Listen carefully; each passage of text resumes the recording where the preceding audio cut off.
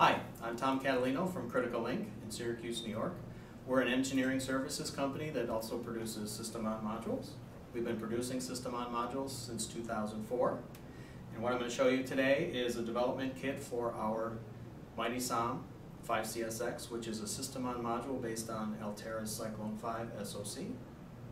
Our development kit that we're going to run through today is helpful for engineers to get started with the Altera Cyclone 5 SoC very, very quickly. What we have here is the development kit for the MitySOM 5 CSX. I'm just going to walk you through all of the kit contents. First thing that we have is a quick start guide. It gives you step-by-step -step instructions on how to get started with the development kit. Next we have a thank you introduction letter. Most importantly here is it has some links and directions for where to find support resources, including our wiki-based documentation, access to our engineering staff through our forums, and, and other documentation like that. Next, we have the board set. Includes a baseboard and an installed system-on module. The system-on module is a 110 KLE device with dual Cortex-A9s. Included on the board is a SD card. The SD card is preloaded with a, an embedded Linux image such that when you power on the board, the system will boot to embedded Linux and come up directly to a command prompt.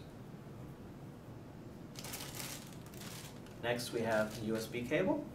The hardware is set up on the baseboard such that when you plug in the USB cable, a virtual COM port is created on the PC and you're able to open up a hyperterminal window and interact directly with the command prompt. Ethernet cable for working with Ethernet communications, a power supply, so that you can plug it in and get be all ready to go. Also included is a USB key.